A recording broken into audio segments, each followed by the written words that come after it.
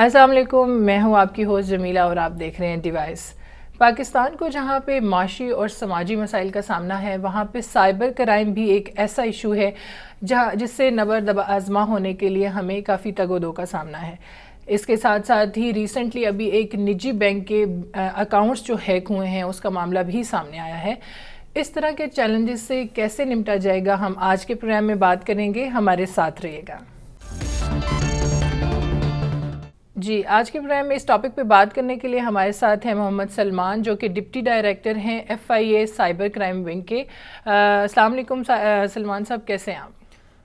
जी वालेकुम अस्सलाम। मैं अलहमदिल्ला बहुत बेहतर हूँ जी। जी सर अभी आप मुझे कुछ बताएँगे? आज हम बात कर रहे हैं इलेक्ट्रॉनिक फ्रॉड पे। तो कुछ इस की डिटेल बताएँगे कि ई इसको ई फ्रॉड भी कहते हैं। तो ये लाइक क्या है इसकी इतनी ज़्यादा अवेयरनेस जो है, वो कहीं पे भी फ़िलहाल तक जो है मैंने देखा है कि वो नहीं दी गई इस तरह। और जिस तरह के अभी मसाइल हो रहे हैं, निजी बैंक का भी इशू हुआ तो क्या कहेंगे इस बारे में?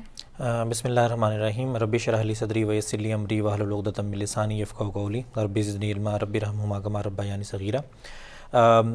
इलेक्ट्रॉनिक फ़्रॉड जो है वो Pakistan, prevention of electronic crime जो है, उसका सेक्शन 14 इसको कवर करता है।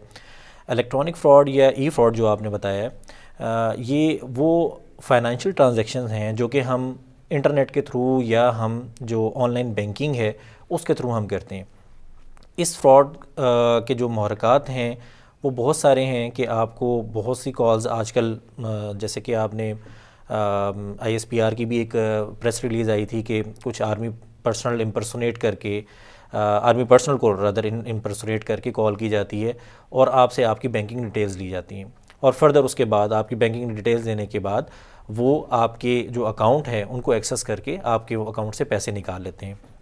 जहाँ तक आपने अपने शुरू इंट्रो में कहा कि एक निजी बैंक तो वो एक निजी बैंक नहीं है, बहुत से बैंक्स का जो इस वक्त डाटा है, वो एक ख़ास तौर पे जिस तरह साइबर स्पेस है, उसका एक एक अंडरवर्ड है, एक जिसको हम डीप वेब कहते हैं, वहाँ पे अवेलेबल है डाटा और वो डाटा पूरे पाकिस्तान में बहुत से जो हमारे सोशल मीडिया चैनल्स हैं या आप इंफॉर्मेशन सिक्योरिटी एक्सपर्ट्स हैं, उन्होंने उसको जब एनालाइज़ किया तो उनको वो फैक्ट्स एंड फिगर्स पे लगा कि ये बिल्कुल ठीक डाटा जो है वहाँ पे शेयर हुआ है। और ये वही डाटा है जो कि मेरे और आपके अकाउंट से रिलेटेड है। हमारे एटीएम कार्ड्स हमारे डेबिट कार्ड या क्रेडिट कार्ड से रिलेटेड डाटा तो यस इलेक्ट्रॉनिक फ्रॉड जो है इस वक्त आ, इनका जो हजम है जो वॉल्यूम है वो मिलियंस ऑफ़ रुपीज़ में चला गया है जहाँ पे एक आम आदमी से लेके एक सेलिब्रिटी या एक फ़ेमस जो हमारे पास पर्सनालिटीज़ हैं उनके अकाउंट भी इस तरीके से कंप्रोमाइज़ होने के बाद उनका डाटा जो है या उनका जो फ़ंड है इलेक्ट्रॉनिक फ़ंड जो है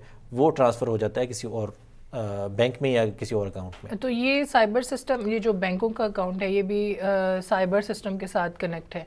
तो इसके लिए प्रॉपर एक चेक एंड बैलेंस रखने के लिए पॉलिसीज़ तो होंगी आपकी, लेकिन फिर भी ये इतना बड़ा वाक्य हो गया है जो निजी बैंक के साथ, और इवन के ऑनलाइन ट्रांजेक्शन्स भी बंद हैं। तो इस बारे में क्या कहेंगे कि ऑनलाइन ट्रांजेक्शन से हमें प्रॉब्लम नहीं फेस करने पड़े लाइक जो स्टूडेंट्स हैं अब्रॉड हैं या जो बिजनेसमैन हैं जिन्होंने कार्ड से पेमेंट करनी है, उनके क्या इश्यूज़ हैं? क्या क्या देखते हैं इसको? जहाँ तक आपका सवाल का पहला हिस्सा है, उसका ताल्लुक है कि कोई पॉलिसीज़ अवेलेबल हैं या नहीं है। Actually F I A cyber crimes जैसे लास्ट भी मैंने एक एपिसोड में कहा था कि हम प्रो पोस्ट क्राइम जो है इन्वेस्टिगेशन करते हैं। एक तो हमारे पास जो ऑब्जर्वेशन मॉनिटरिंग सिस्टम है वो नहीं है क्योंकि हमारा मैंडेट भी नहीं है। दूसरा ये है कि जो पॉलिसीज़ हैं क्योंकि बैंक्स हैं बैंक्स की पॉलिसीज़ जो है उनका regulator State Bank of Pakistan बनाता है। State of State Bank of Pakistan की डेफिनेटली कोई ना कोई आईटी पॉलिसीज़ होंगी इससे रिलेटेड और मेरे नॉलेज के मुताबिक वो इसके ऊपर काम भी कर रहे हैं और बड़ा अब तो रिएक्टिव अप्रोच है ऑब्वियसली जिस तरह वो ये कहते हैं कि अगर आपने ऑनलाइन ट्रांजेक्शन करनी है उसके लिए पहले आप एक रिक्वेस्ट जो है उनको करेंगे एप्लीकेशन देंगे उसके बाद अगर वो परमिशन आपको देते भी हैं तो फिर भी वो सेफ़ नहीं है। लाइक like, वो आपको आ, अपनी ही ज़िम्मेदारी पे ये जो ट्रांजेक्शन है वो करनी है। जी सलमान तो हम बात कर रहे थे ऑनलाइन ट्रांजैक्शन की और उसकी जो रिक्वेस्ट है वो अगर आप करते भी हैं और आप ट्रांजैक्शन करते भी हैं तो वो आप अपने भी हाफ़ पे करेंगे उसकी कोई सिक्योरिटी नहीं है बैंक की तरफ़ से ये कहा जा रहा है। तो ये किसका फ़्लॉ है? ये उन इदारों का फ़्लॉ है या सिक्योरिटी इदारों का फ़्लॉ है कि इसका हम फिर भी कोई श्योरिटी नहीं दे रहे? क्योंकि ज़ाहिर है एक कस्टमर जो है वो आपके पास ट्रस्ट करके अपने पैसे रखवा रहा है या ऑनलाइन ट्रांजेक्शन कर रहा है तो क्या कहेंगे इस बारे में?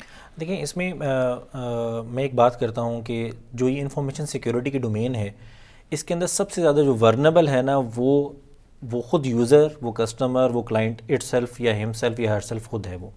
उसकी वजह ये है कि फॉर एग्जांपल इसको हम कहते हैं सोशल इंजीनियरिंग टेक्निक्स कि जैसे मैं आपको कॉल करता हूँ, मैं आपको बड़े लुकोरेटिव वे से इस चीज़ पे ले आता हूँ कि आप मुझे अपना पिन कोड भी बता देते हैं, अपना पासवर्ड भी बता देते हैं।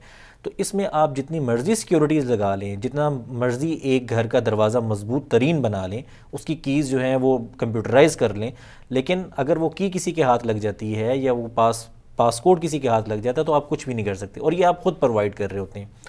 जहाँ तक ऑनलाइन ट्रांजेक्शन का ताल्लुक है, आपने जो क्वेश्चन किया था, उसका सेकेंड पार्ट ये है कि यस हमें भी बहुत सारे लोग अप्रोच कर रहे हैं जिसमें स्टूडेंट्स हैं जो कि यूके बेस्ड हैं यूरोपियन यूनियंस में पढ़ने के लिए गए हैं। उन्होंने कहा कि जब से ऑनलाइन ट्रांजेक्शन जो हैं, वो बंद की गई हैं इंटरनेशनली बंद की गई हैं, कुछ बैंक्स ने कर दी हैं, कुछ ने अभी भी जारी रखी हुई हैं, लेकिन मशहूर बैंक्स जो हैं, उन्होंने बंद कर दी हैं। और वो टेम्प्रेरली की गई हैं। तो हम उनको यही कहते हैं कि वो अपने सिक्योरिटी फीचर्स को इन्हांस कर रहे हैं और वंस वो जब ये उनकी एक्सरसाइज ये कंप्लीट हो जाएगी तो आप दोबारा से ट्रांजेक्शन कर सकेंगे। रिपोर्टेडली uh, जो अभी डाटा डार्क वेब या डीप वेब पे अवेलेबल है जो एटीएम कार्ड्स का या डेबिट कार्ड्स का ये वो कार्ड होल्डर्स हैं जिनकी प्रॉपरली ऑनलाइन इंटरनेशनल ट्रांजैक्शन की परमिशन अवेलेबल थी।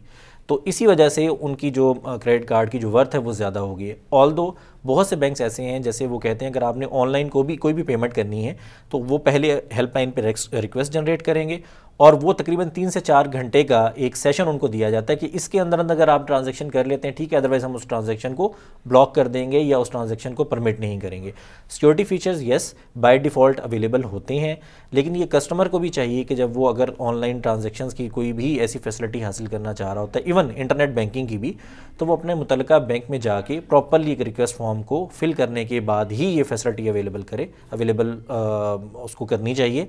जो हमारी एक रिकमेंडेशन है ना कि आप फ़ोन पे जैसे इम्पर्सोनेट कर लेते हैं और आपको कहा जाता है कि मैं फ़लाँ बैंक से बात कर रहा हूँ जी तो फ़ोन पे तो ये वैसे भी इतना सेफ़ नहीं है क्योंकि आप ट्रांजेक्शन कर रहे हैं अमाउंट का मसला है लेकिन अभी आप हम बात कर रहे थे कि कुछ कॉल्स आती हैं different businessman even common person को जिनके अकाउंट्स में चंद हज़ार रुपये इवन होते हैं तो उनको कॉल्स की जाती हैं कि हम आर्मी की तरफ़ से हैं फ़लाँ मेजर बात कर रहे हैं दिस एंड दैट तो उनको कहा जाता है कि आप अपनी डिटेल्स बताएँ। तो आर्मी एक ऐसा इदारा है ऑब्वियसली आपको पता है कि लोग ट्रस्ट करते हैं।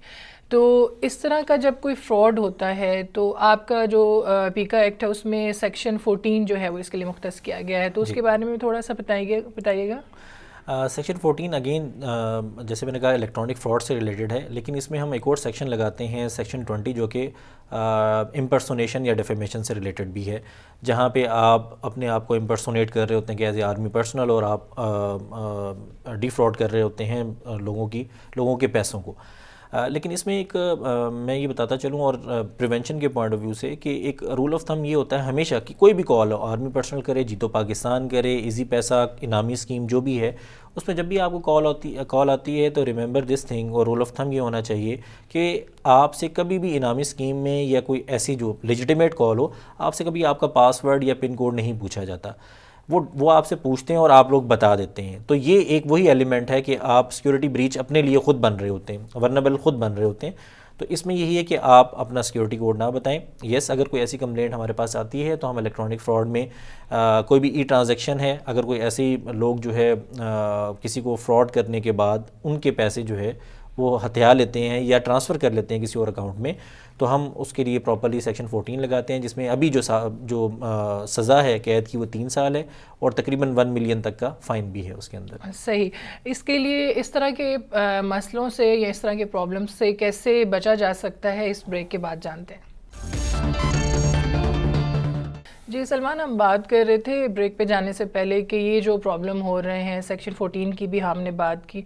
लेकिन इसके लिए आवाम को प्रिकॉशंस क्या करनी चाहिए कि उनके लिए इस तरह के मसाइल पैदा ही ना हो? जी, इसमें दो चीज़ें हैं। एक तो हम जो ट्रांजेक्शन्स करते हैं थ्रू एटीएम कार्ड और दूसरी हमारी ट्रांजेक्शन होती है इंटरनेट बैंकिंग के थ्रू उनकी वेबसाइट पर जाके लॉगिन बना के और वो। एटीएम से रिलेटेड मैं आपको गुजारिश ये करूँगा कि जब भी आ, कोई भी बंदा या बंदी आ, अपना एटीएम यूज़ करे एटीएम मशीन के अंदर तो कोशिश करें कि उसको जिस स्लॉट में वो इंसर्ट करता है वहाँ पे नॉर्मली स्किमिंग डिवाइस होती है जिससे आपका पूरे का पूरा कार्ड जो है वो कॉपी हो जाता है। तो कोशिश करें कि उसको आप थोड़ा सा जर करके देखेंगे वो डिटैचेबल तो नहीं है वो डिवाइस जहाँ पे आप कार्ड इंसर्ट करते हैं। और आप थोड़ा सा उसको अगर जर करेंगे तो वो डिटैच हो जाएगी अगर स्किमिंग डिवाइस वहाँ पे लगी होती है।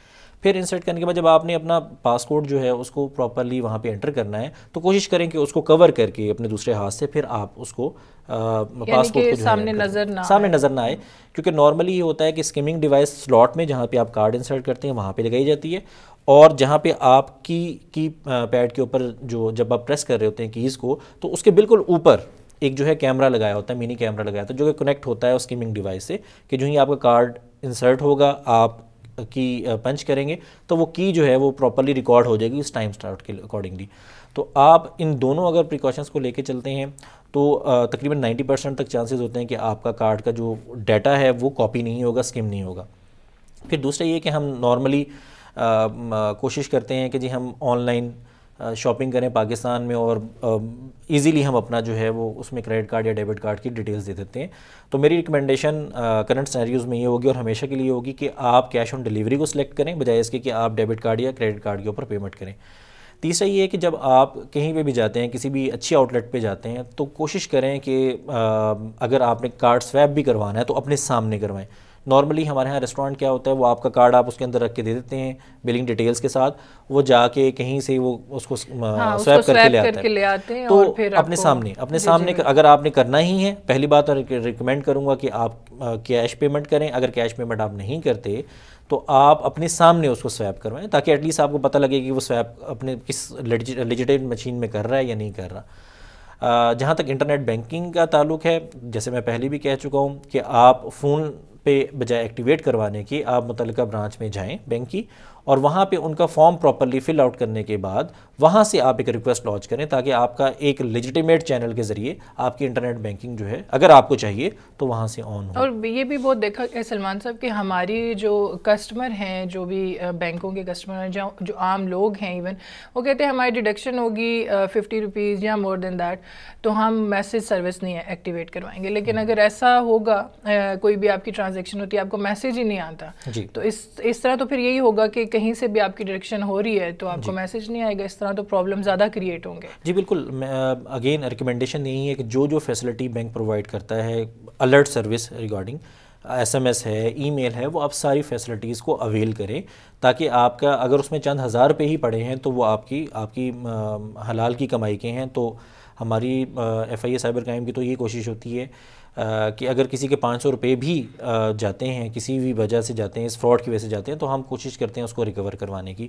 तो आपको यस ये फैसिलिटीज़ जो हैं इसके अलावा कुछ वेबसाइट्स इस तरह के भी हैं अगर आपने ऑनलाइन कोई चीज़ ऑर्डर करनी है तो एफआईए ने इस चीज़ के लिए ये भी किया हुआ है कि आपको वैलिडिटी आ जाती है कि वैलिड है ये वेबसाइट या नहीं है।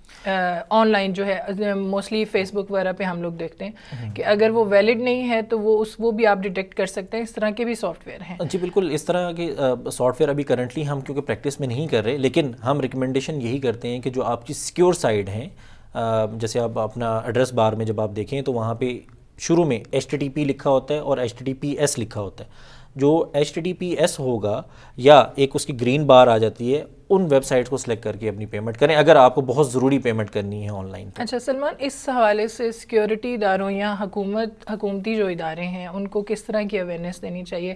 लाइक आम इंसान तक या आम बंदे तक ये अवेयरनेस पहुँचेगी तो ये मसले जो हैं उनसे प्रॉब्लम जो हैं उनसे लाइक जान छूटेगी। क्योंकि ये आए रोज़ बहुत ज़्यादा इशूज़ जो हैं क्योंकि एक हाइप क्रिएट हुई हुई है जब से ये निजी बैंक का मसला हुआ है। और सब ही अपने अकाउंट्स को चेक कर रहे हैं तो हम्म। हुकूमती इदारे और सिक्योरिटी के जो इदारे हैं वो इस हवाले से क्या इकदाम कर रहे हैं? देखिए, एक अच्छी चीज़ ये हुई है कि हमें हमें एक बहुत क्योस के अंदर भी, एक ऐसी सिचुएशन के अंदर भी जहाँ पे थोड़ी सी पैनिक क्रिएट हो रही है। लेकिन अच्छी चीज़ ये हो रही है कि लोग थोड़ा सा अवेयर होने के बाद अपने अकाउंट्स को एटलीस्ट चेक करना शुरू कर दिया उन्होंने। जैसे आपके नॉलेज में एक हमारा एफ़ का एक और विंग जो है, वो और भी तरह की जो है ट्रांजेक्शन जो है, उनकी तहकीकात कर रहे हैं। इस वक्त करंटली किसी के अकाउंट में पंद्रह करोड़ आ गए बीस करोड़ आ गए तो लोगों ने चेक करना शुरू कर दिया। लेकिन इसके बाद लोगों ने मोहतात होकर चेक करना शुरू किया कि खुदा न खास था कि ट्रांजेक्शन तो नहीं हो रही। जहाँ तक इदारों का ताल्लुक है तो जैसे मैंने पहले आप से अर्ज़ किया कि State Bank of Pakistan regulator है इन बैंक्स का। वो किसी की डोमेन में भी आते हैं। बैंक जो है इट्सल्फ जो है वो आ, उसको रेगुलेट कर रहा है State Bank of Pakistan PTA हमारे साथ विद द टेलको जो है वो बहुत ज़्यादा अवेयरनेस क्रिएट कर रहा है थ्रू मैसेजेस जो कि आज और कल में हमारी इंशाल्लाह उनके साथ फर्दर मीटिंग्स भी हैं स्टेट बैंक ऑफ़ पाकिस्तान के साथ भी और पीटीए के साथ भी अवेयरनेस के सिलसिले ठीक है। Thank you so much Salman मसाइल जब भी आते हैं और उनका हल भी डेफ़िनेटली साथ आता है, हम सारे जो मसाइल हैं, उनका मलबा हम हकूमती इदारों या सिक्योरिटी इदारों पे नहीं डाल सकते। इनफरादी तौर पे हमारा अपना भी ये फ़र्ज़ बनता है कि हम अपने अकाउंट्स पे जो चेक रखते हैं या जो मैसेजेस सर्विसेज़ आपको बैंक की तरफ़ से ऑफ़र की जाती हैं, आप उनको एक्टिवेट करवाएँ। अपने अकाउंट्स का ख़ुद भी ख्याल रखें चेक एंड बैलेंस रखें, ताकि कहीं पर भी ये मिस ना हो सकें। आज तक के लिए इतना ही। मुझे इजाज़त दीजिए अल्लाह हाफिज़